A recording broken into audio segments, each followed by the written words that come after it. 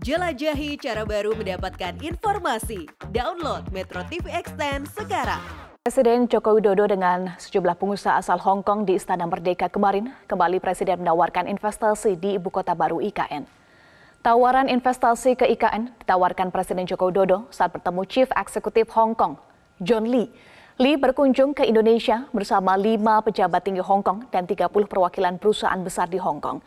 Menerima kedatangan delegasi Hong Kong, Presiden didampingi oleh Menteri Luar Negeri Retno Marsudi, Menteri BUMN Erick Thohir, dan Menteri Investasi Kepala Badan Koordinasi Penanaman Modal Bahlil Lahadalia.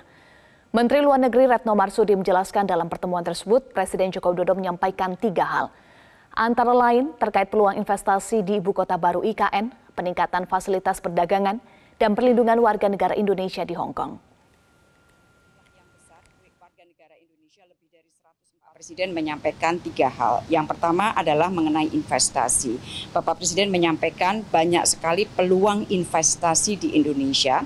Antara lain Bapak Presiden uh, menyampaikan mengenai peluang investasi di ibu kota baru Nusantara. Antara lain di bidang infrastruktur, transportasi, green energy, dan digital teknologi. Kemudian yang kedua mengenai masalah perdagangan. Cara mudah mendapatkan informasi dengan satu sentuhan jari. Download Metro TV Extend.